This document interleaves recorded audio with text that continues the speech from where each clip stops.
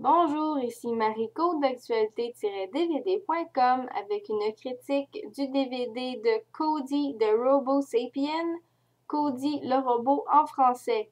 C'est un film d'aventure pour enfants réalisé par Sean McNamara avec Bobby Coleman, David Egenberg, Jay Ed, Holliston Coleman et Kim Coates.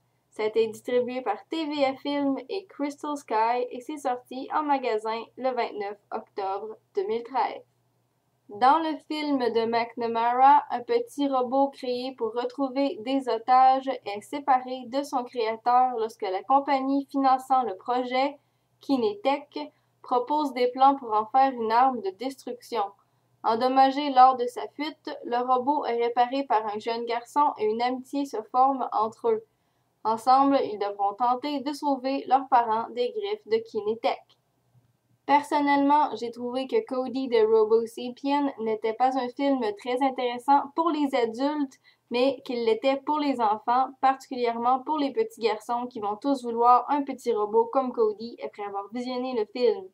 De plus, Bobby Coleman, qui interprète Henry, le petit garçon qui va réparer Cody, offre une très bonne performance.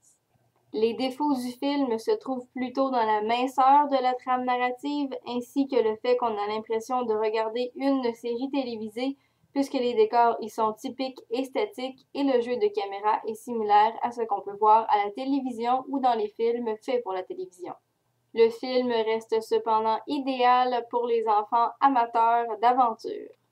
Les pistes sonores disponibles sur le DVD de Cody de Robo Sapien sont anglais et français 5.1 Dolby Digital. Les sous-titres sont disponibles en anglais seulement et le format de l'image est 16:9. Le DVD ne comporte pas de suppléments se rapportant directement au film et seule la bande-annonce de la sortie DVD de Opposite Day est disponible. En bref, Cody de Robo Sapien n'est pas un film qui est très intéressant pour les adultes, mais il l'est certainement pour les enfants. C'était Mariko pour actualité-dvd.com. Je vous remercie et bon visionnement.